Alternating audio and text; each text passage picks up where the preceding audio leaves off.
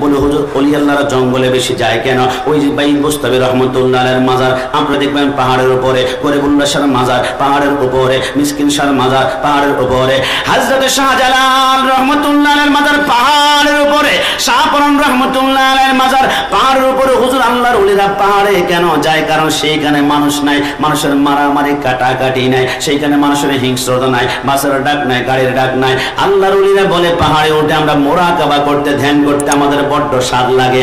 আমরা আল্লাহর সাথে প্রেমের কানেকশন লাগিয়ে দিয়ে জুড়ে বলি সুবহান আল্লাহ আমি দেরি করলাম না। আমি জঙ্গলের দিকে যখন হাঁটলাম, আমার পিছনে হাজার হাজার মরিদরা হাঁটলো। রাত যখন গভীর হয়ে গেল, আল্লাহর অলিরা বলে, আমার মরিদরা, তোমরা সকলে ঘুমিয়ে যাও। সকলে যখন ঘুমিয়ে গেল, আল্লাহর অলি আল্লাহ আকবার বলে, নামাজের মধ্যে দাঁড়িয়ে গেল।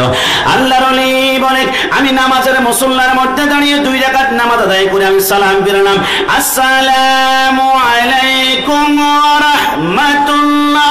আমি সালাম ফিরানোর পরে হঠাৎ করে আমি একটা আওয়াজ শুনতে পারলাম। আওয়াজটা আমার কাছে একটু ভিন্ন ভিন্ন মনে হচ্ছে। আওয়াজটা কেমন? বলে আওয়াজটা ছিল এমন।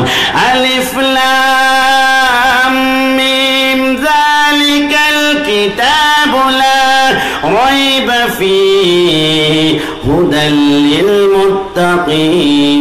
আল্লাহর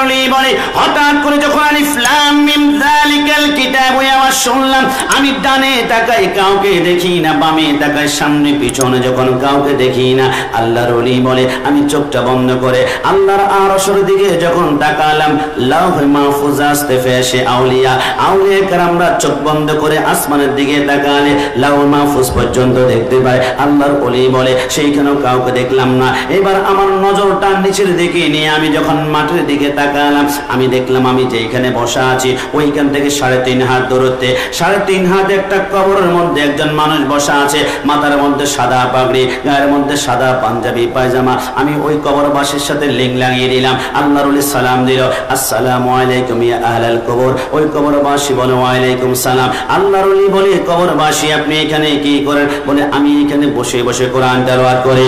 আল্লাহর ওলি জিজ্ঞাসা করে, কবরবাসী আমার, একটু বলেন না আপনি কতদিন যাবত কোরআন তেলাওয়াত করেন? ওই কবরবাসী বলেন, না না না, আমি জানি না কতদিন যাবত তবে হান্ড্রেড পার্সেন্ট শিওর দিয়ে বলতে পারে, আজকের দিন পর্যন্ত এই কোরআনটাকে একবার নয়, দুইবার নয়, এক হাজার নয়, দুই হাজার নয়, আমি এই পর্যন্ত কোরআনটাকে আমি তিরিশ হাজার বার কোরআন খতম করেছি, জোরে বলি সুবাহান আল্লাহ